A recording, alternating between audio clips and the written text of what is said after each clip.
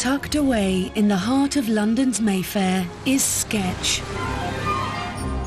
The brainchild of culinary fantasist and Michelin genius Pierre Gagnaire. And the world's only Michelin-starred restaurant to serve high tea. Over 12 million pounds were spent on lavishly refurbishing the building, which houses two restaurants, a bar, an art gallery and a patisserie cafe. Bill Clinton, Prince Andrew and Kate Moss have all eaten here. To match the A-list clientele and opulent surroundings, every dish that leaves the kitchen has to be a work of art. It is this level of excellence that the chefs will have to achieve today, cooking a Michelin-starred level high tea. Nothing less than perfection will do, because they will be cooking for three of the world's greatest pastry chefs, including master patissier and one of the godfathers of modern cuisine in Britain, Michel Roux. Overseeing them is head chef Roel Lintemans. Our standards are very high. Uh, you have to be up to our expectations. That's the basic rule for today. An apprenticeship in the pastry section is often considered to be a prerequisite to becoming a great chef. Pastry is an exact science and requires a relentless attention to detail. But it's also an area where a chef can show creative genius.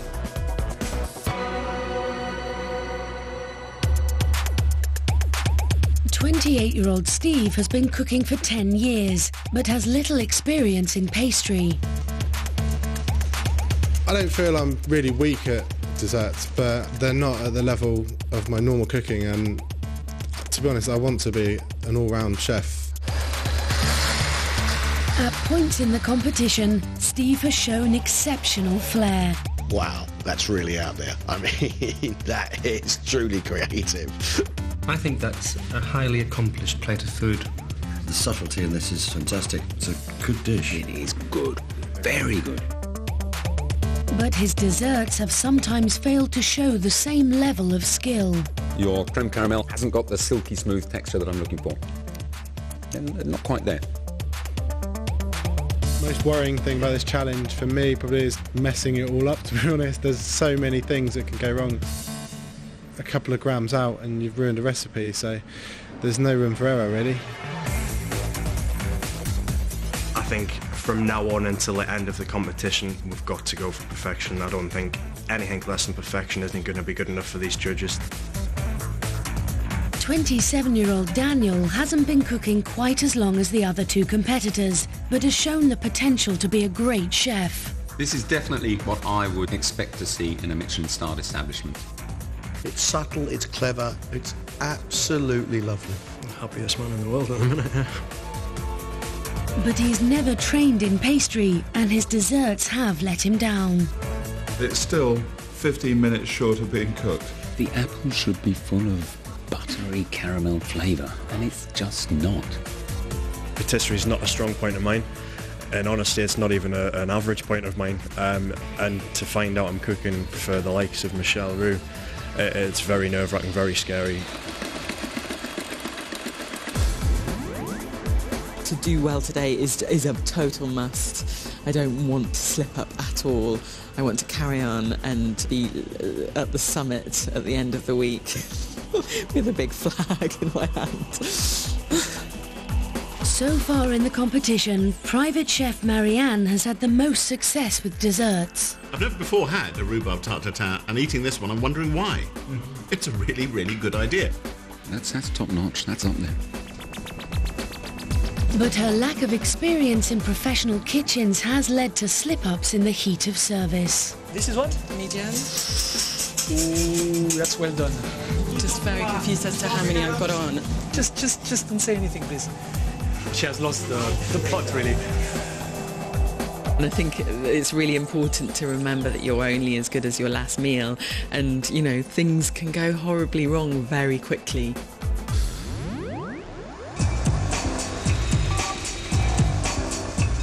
Today, each chef will have six hours to make a high tea consisting of a sandwich, a patisserie item, and a sketch signature cake. Steve, this will be your afternoon tea. Steve's menu consists of a black croque monsieur filled with mozzarella, basil and courgette, an olive oil cake, and a choux bun filled with two types of cream and a mango and passion fruit jelly. The lemon choux pastry, the dough is very important and it's made like this, baked to perfection. He's tackling the choux bun first because it has the most processes involved. I mean, this one may look quite simple, but there's jelly in there, there's pastry cream, there's whipped cream, and um, yeah, to get all of it right, it's going to be tough. Choux pastry can be tricky to master. It needs to have just the right moisture content so that when it cooks, steam puffs up the pastry, making it light and airy. But the final bun should be small and delicate. Uh, they look a bit flat. I'll see how they puff up in the oven, but I think I might have to make this again, to be honest. Steve must now wait for 25 minutes before he'll find out if his choux pastry is up to Chef Roel's exacting standards.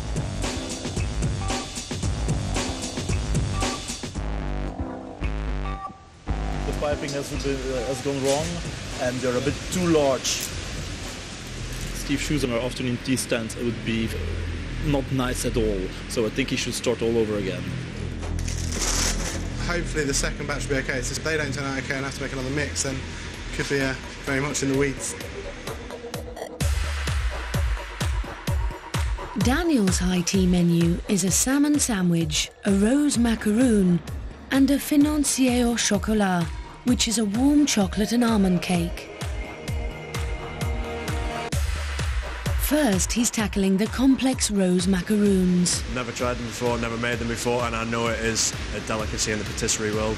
To get the macaroon right today is going to be my main aim. First, he has to make an almond paste, and then an Italian meringue mix, which requires heating sugar water to precisely 121 degrees Fahrenheit. It's about six degrees away at the minute. The two are then added together. The final mix has to be accurately judged to ensure that the biscuit has the perfect texture. And he must also pipe the mix into identical circles. Must be a, quite a, an artist technique to try and get exactly the same size. Um, hopefully, out of the million I've got on the tray, I might get three good ones. Pray to God. Fingers crossed.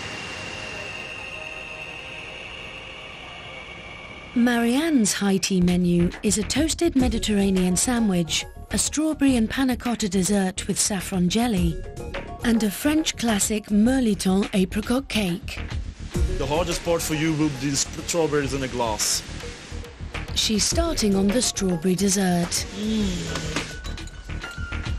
Which consists of a layer of reduced strawberry marmalade, then a layer of vanilla panna cotta, topped with a delicate saffron jelly with peppered strawberries. Oh wow, that's so delicious. But Chef Roel has spotted a problem. Did you make the strawberry reduction to put in your panna cotta mixture? No, I thought it was reduced already, chef. You see, you have less color than we have, and you, it will be less tasty than what we are serving. It looked really reduced. That's silly of me. Okay, I'll do it again. Marianne hasn't reduced the bottom layer of her strawberry dessert, so she has to start all over again.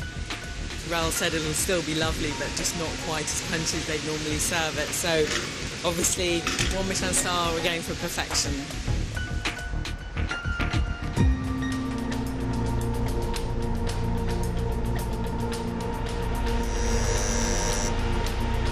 Daniel's macaroons are ready. He needs them to be flawless. They're fine, they're cooked, they're great. Good job. Thank you very much, Chef. Thank you. Come on. I am going for perfection today. Not quite got it on the size, but the macaroons themselves, they look they look perfect. While Daniel's macaroons cool, he gets on with his rose-flavoured buttercream filling. I seem to be organised. Everything seems like it's going well, and I don't like it when things go well because that means something's going to go wrong.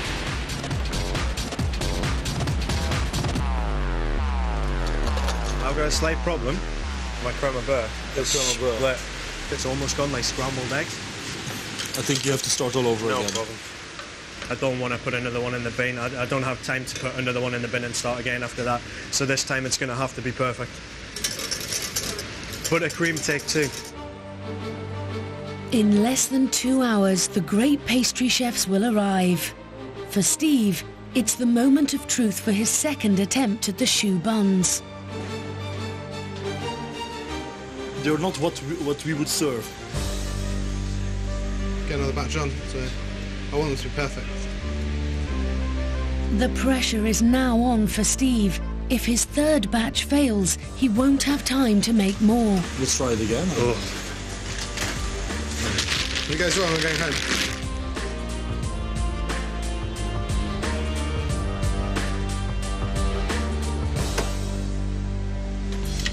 Right. Oh, perfect. Marianne is now working on the apricot Mirliton cakes. The base is sablé pastry. Sablé is French for sand, and the pastry should have a crumbly, granular texture, which is an art to achieve. Pastry is really difficult to get right, and cooking for one of the world's most amazing pastry chefs is uh, quite a lot of pressure.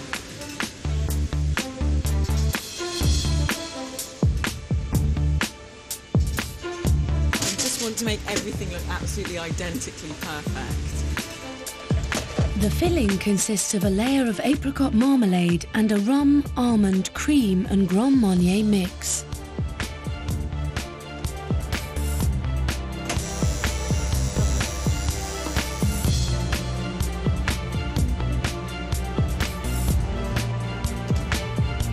It's intimidating cooking in a Michelin star kitchen.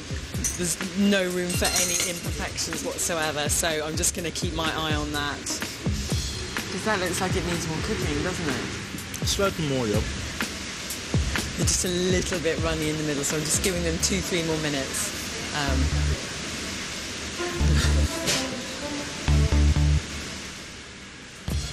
Only 45 minutes left. With Steve's third choux pastry attempt in the oven, he has one chance to get his delicate olive oil cakes right. Things I'm worried about with the olive cake, uh, it may not rise too much or it could crack. Hopefully I'll get it right first time. Daniel is also facing his own difficulties in making the classic chocolate almond cake, the financier. I've just realised why it's going to have to be cooked perfectly because in essence it's almost a chocolate fondant recipe.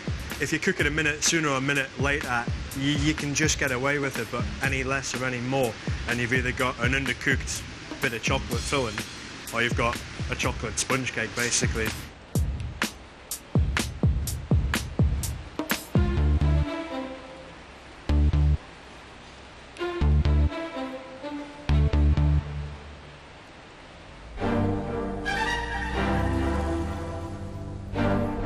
It's half an hour before service, and three of the world's finest pastry chefs arrive. Michel Roux has an honorary OBE for his services to cuisine and has sold over a million books on patisserie and desserts.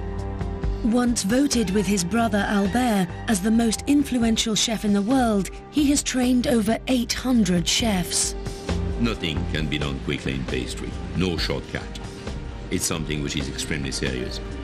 Any chef should start by doing an apprenticeship in pastry, or then he's not a chef in my book.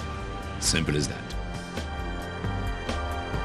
Eric Lanlard worked under Michel Roux before starting his own patisserie business. His clientele includes Madonna, Sir Elton John and Claudia Schiffer.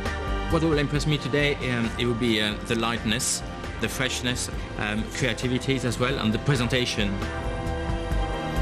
Michael Nadell has been working in pastry for 44 years and together with Michel is joint chairman of pastry chefs at the Academy of Culinary Arts. I'll be looking today for flavour and texture. There are some classical items on the menu. I'll be looking for the ingredients showing out in those particular things. Three pâtissiers together, aren't we lucky? I know, that's gonna be a nightmare.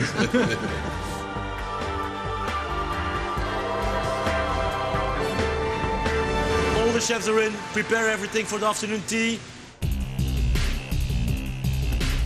Steve is first up to serve the chefs, and all his hopes of impressing the judges rest on his third batch of choux pastry buns. I still don't think they're quite as perfect as I'd like, but they're a lot better. I feel a lot more happy serving those than those ones.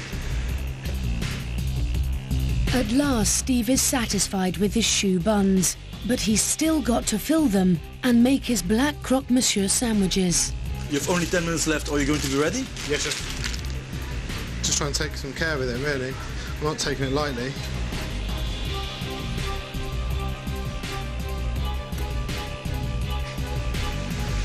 So really don't want it to ooze down the side.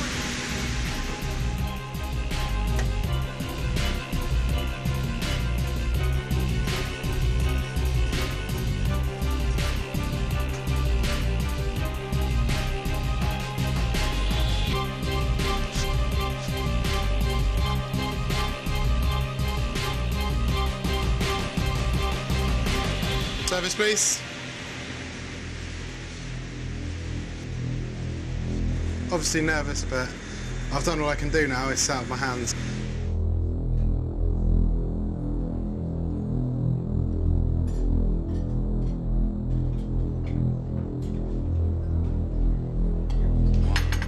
Wow, look at that. Oh, yes. Steve has made black croque monsieur sandwiches, olive oil cakes, and choux buns with lemon creme pâtissière, chantilly cream, and mango and passion fruit jelly. Here we are.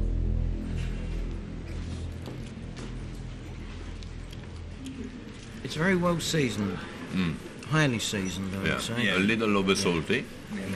Nice flavours, yeah. I call I call that a good try. Yes, Mm. indeed. Very good. Yeah. Yeah. Hey, the little olive oil cake. Yeah. The glazing is nice. Yeah. Yeah. No flavor comes through. Now, the cake is light, it's moist. Yeah. But that's it, it stops there. Yeah. I found the choux maybe a bit too big. Yes. It's a choux for two, at least. A choux for two. oh dear. Oh, where's my crane? Oh. oh. I think any proper ladies who come to um, have afternoon tea will feel a bit um, overwhelmed by that. Eric, you're absolutely right. We've got a very good choux. Yep. Texture is right. It's just too much, and it's too big. It's too big.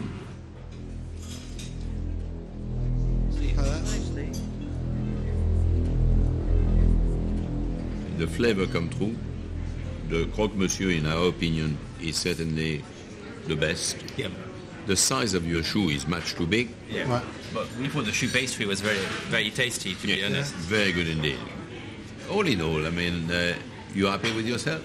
Uh, yeah, considering my lack of experience in pastry, I, I'm quite pleased with what I've done. Well, I think you can be because you've done well. Yes. Thank you very much. Yeah. Thank you, Steve.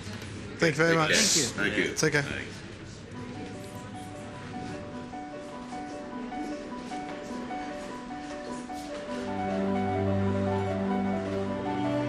been determined to win this competition from the off, and this now just makes me more determined. It, I've shown a weakness, but I've had good feedback on it and some stuff that I can take away and, and learn from. So I just look to eradicate those mistakes in the future, and hopefully it'll take me all the way.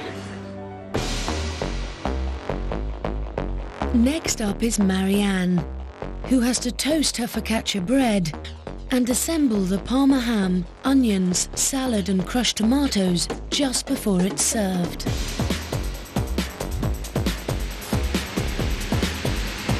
Think about the little details.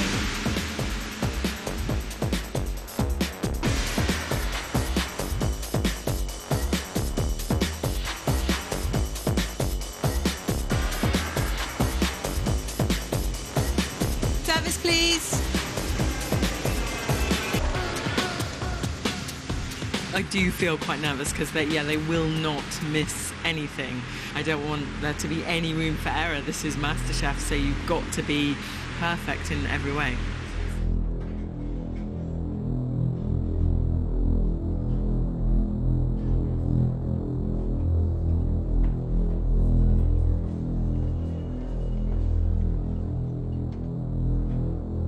Marianne has made Mediterranean sandwiches, strawberry panna cotta and saffron jelly desserts, and apricot mirliton cakes.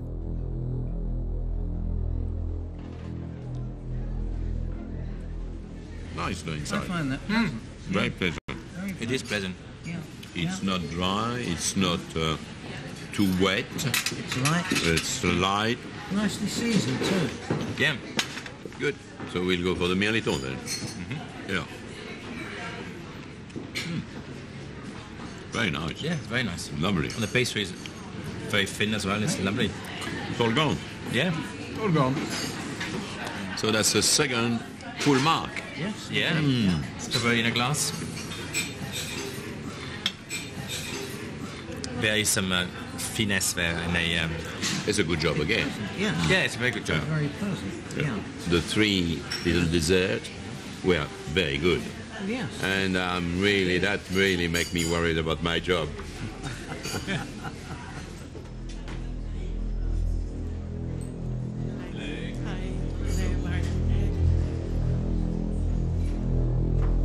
The three of us agree when the uh, presentation-wise, it, it was uh, very neat. The mirliton was really, I mean, the pastry was beautiful pastry and very thin. And it was just really perfect. Um, Have you done a lot of pastry or very little? Mm, not a huge amount. Is it something you like? I, I do like it. You like pastry? Yeah. Yes, it shows. It shows.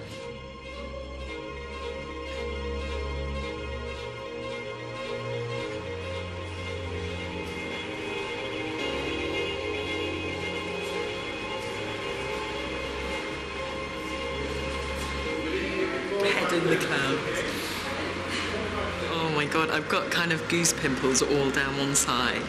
Um, they were so fantastic. They were so complimentary, and just sitting in that room with, with those three amazing pastry chefs. It was just one of those memories I'm going to have for the rest of my life. It was amazing. Finally, it's Daniel's turn. His chocolate fondant cakes have to be served warm and mustn't be under or overdone.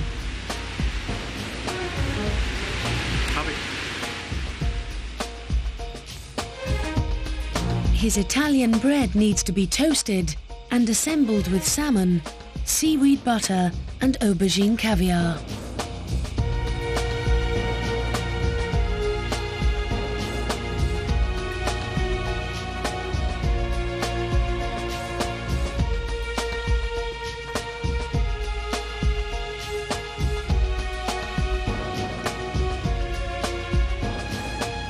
Service.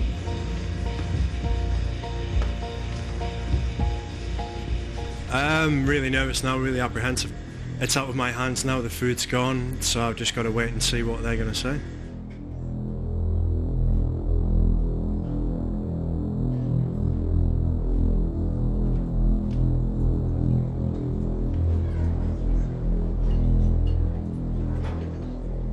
Daniel's high tea consists of salmon sandwiches, rose macaroons, and financier chocolate almond cakes.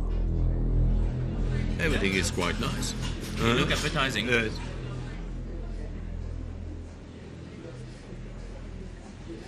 Aubergine caviar is supposed to be in it. I didn't test it. I mean, you were supposed to have some seaweed, Dill butter well, in it, dill as well. So definitely, well, the quantity of all those ingredients were lacking. Okay, hey, gâteau au chocolat. Very moist inside. It's very nicely cooked Yeah. and uh, very tasty. Yep.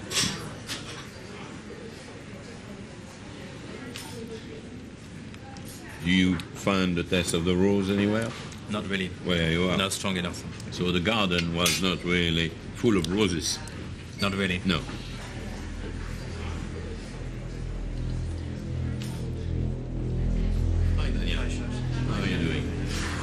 Nervous, very nervous. All in all, you've done well in a couple of those dishes. The macaron, the roses, we're not sure about.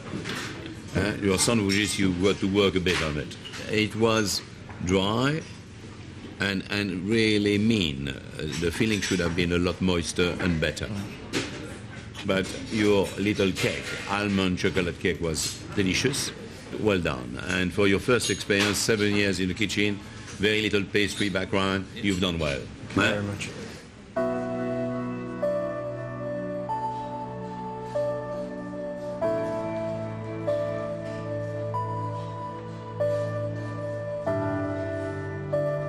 Uh, obviously, I'm disappointed. I wanted perfection all the way. The fact I haven't got it, it, it, it's disappointing, but it's not too bad because obviously, being my first attempt at a few of those dishes, it, it's it's great to actually get good comments back on them as well.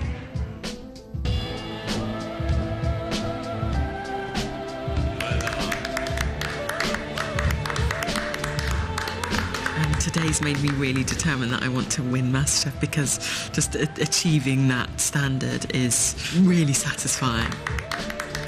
To come to a place like this where they do such amazing like pastry goods, I need to take that inspiration and show that I can up my game in pastry. I've had a few negative comments today, but I've just got to brush that off now. Um, go in, uh, do really well, and, and prove to the guys that I'm good enough to win this final.